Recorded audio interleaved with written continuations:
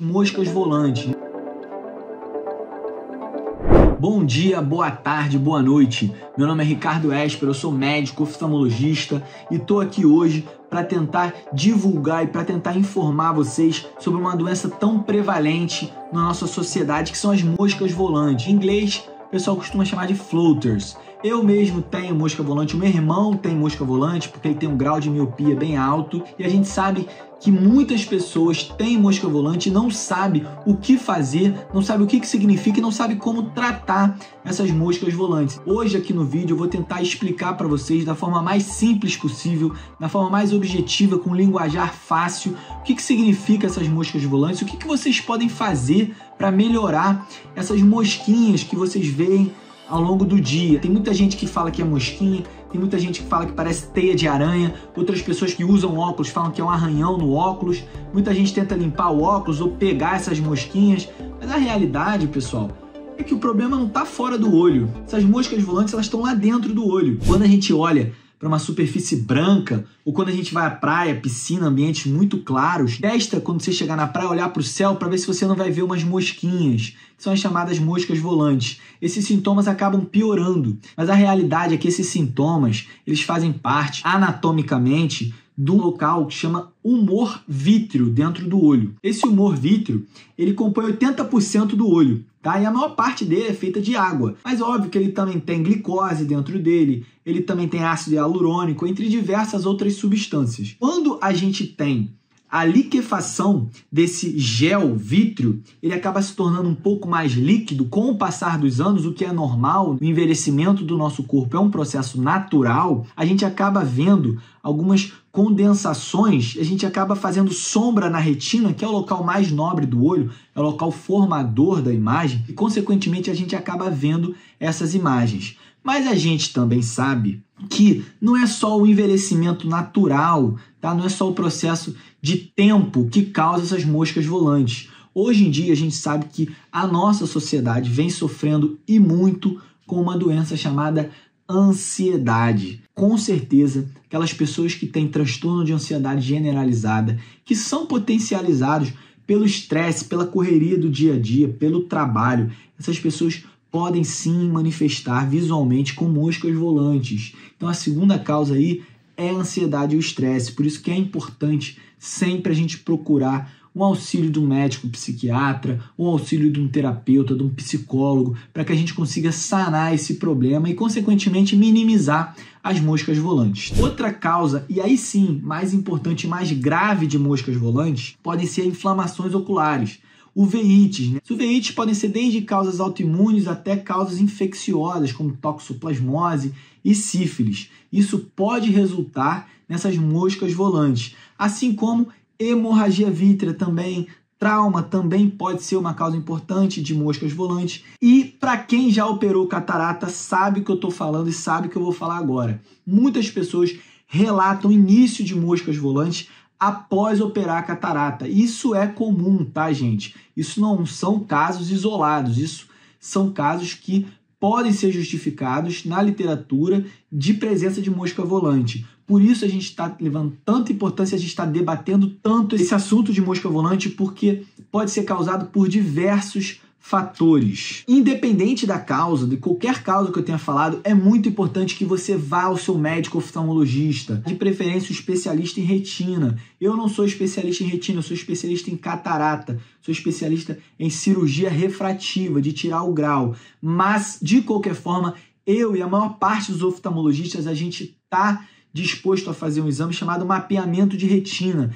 que é o exame padrão ouro para esses casos de mosca volante. E caso você vá a um oftalmologista e ele encontre a causa, ele vai tratar a causa de mosca volante. Se for uma hemorragia vítrea, ele vai tratar a causa. Se for um trauma, se for, por exemplo, uma infecção como toxoplasmose, ele vai tratar e tem grandes chances das suas moscas volantes melhorarem. Mas se as moscas volantes forem causadas pelo envelhecimento, pelo tempo, pelo processo natural do corpo, ele vai ter que propor para você alguns outros tipos de tratamentos. E é o que a gente vai debater agora para que você entenda ainda mais como funcionam esses tratamentos. Por isso que eu peço aqui para você, deixa o like no canal, tá? Se inscreva no canal para que a gente consiga levar o máximo possível de saúde ocular para as pessoas.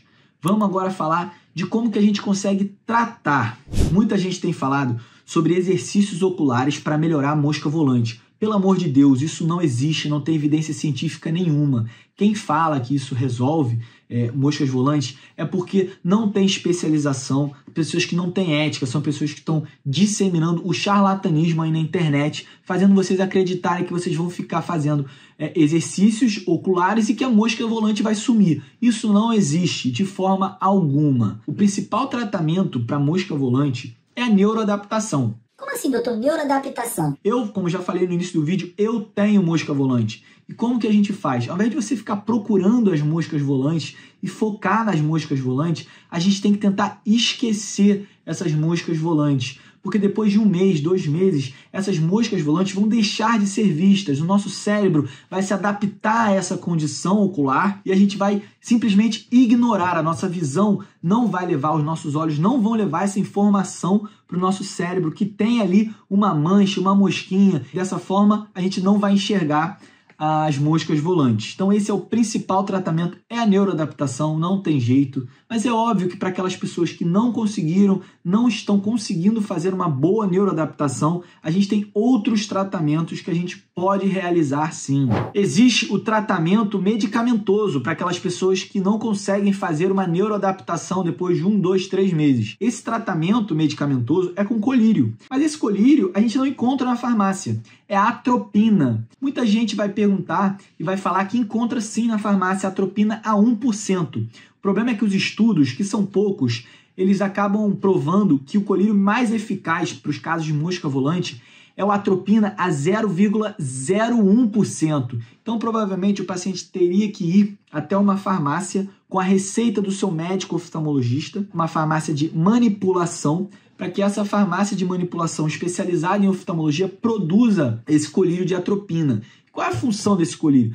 Esse colírio, ele além de paralisar nossa musculatura ciliar, ainda gera uma dilatação na nossa pupila. Quando esse colírio ele é produzido a 1%, que é o que a gente encontra na farmácia, a gente pode ter efeitos graves nos olhos quando não indicados por um oftalmologista. Pode ter desde taquicardia até boca seca, por exemplo, mas quando bem indicados, eles podem ser usados em casos de olhos cegos dolorosos. Muita gente costuma usar sim atropina. Além disso, a atropina 001, diferentemente da atropina a 1%, ela dilata menos o nosso olho, dilata aproximadamente 1 milímetro. E ao dilatar 1 milímetro o nosso olho, esse colírio, entram-se mais raios dentro do olho, em diferentes posições. Consequentemente, a gente acaba vendo menos essa sombra das moscas volantes na retina. Isso consegue sim minimizar os sintomas da retina.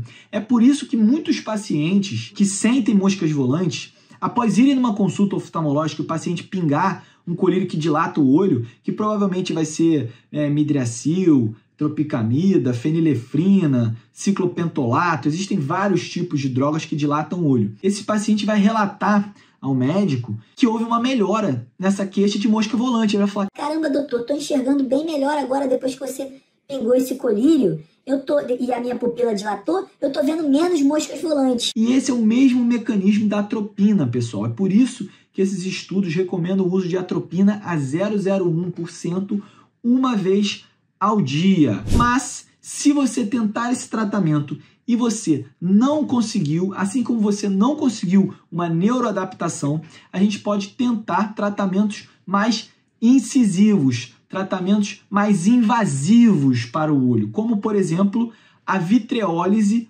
Oriag laser. Pô, doutor, como assim? São tiros de laser que a gente dá dentro desse gel, que é o humor vítreo, né, que compõe 80% do olho, e a gente consegue simplesmente dissolver essas moscas volantes em pequenos pedaços. Dessa forma, o paciente que estava vendo uma mosca volante, para onde ele olhava, ele via uma mosca volante, agora ele não vê mais, porque a gente dissolveu essa mosca volante em diversos pequenos pedaços. Outro procedimento que é mais incisivo ainda, é mais invasivo ainda ao olho do paciente, é a vitrectomia. Então, nesses casos, quando os pacientes tentaram a neuroadaptação e não conseguiram, quando os pacientes muito provavelmente podem ter tentado o uso de colírio de atropina 0,01% também não foi resolutivo para o caso deles, ou fizeram uh, vitreólise por IAG laser, também não foi resolutivo, eles podem tentar a vitrectomia. Para paciente que tem moscas volantes muito graves, essa cirurgia de retina ela pode ser muito bem indicada, porque ela não só dissolve essas moscas volantes, como ela retira todo o gel vítreo de dentro do olho, né, 80% do olho, e coloca ali no lugar outra substância. Consequentemente, essa substância não vai ter em nenhum momento moscas volantes. Mas essa alternativa é uma alternativa muito invasiva, é uma alternativa que tem muitos efeitos colaterais, é uma cirurgia,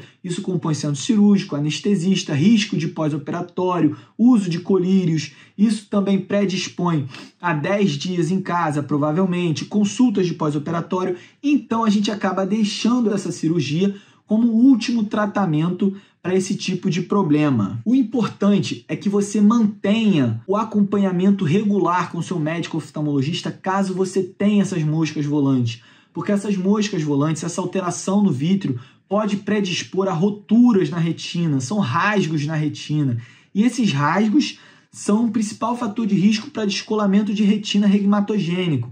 Ou seja, muitas pessoas que têm moscas volantes, como eu, têm chance maior de terem roturas na retina. E essas roturas podem levar a uma doença extremamente grave, a uma emergência oftalmológica, que tem que ser operado com urgência, que é o descolamento de retina. Por isso que eu estou indicando aqui para todos vocês que estão vendo meus vídeos vocês que tenham mosca de volante mantenham acompanhamento regular de seis em seis meses com seu oftalmologista, mesmo que a causa, como a gente já falou no início do vídeo, a causa dessas moscas de volante sejam simplesmente a idade, o envelhecimento natural desse gel vítreo. Vocês têm que manter esse acompanhamento pela predisposição dessa doença grave que é o descolamento de retina. Então, se vocês gostaram dessa explicação do que, que é moscas volantes, quando a gente vê essas moscas volantes, o que são as moscas volantes e como que a gente trata essas moscas volantes. Eu vou pedir para vocês aqui deixarem o like no canal, se inscreverem aqui no canal e a gente se vê no próximo vídeo. Pessoal, um grande abraço.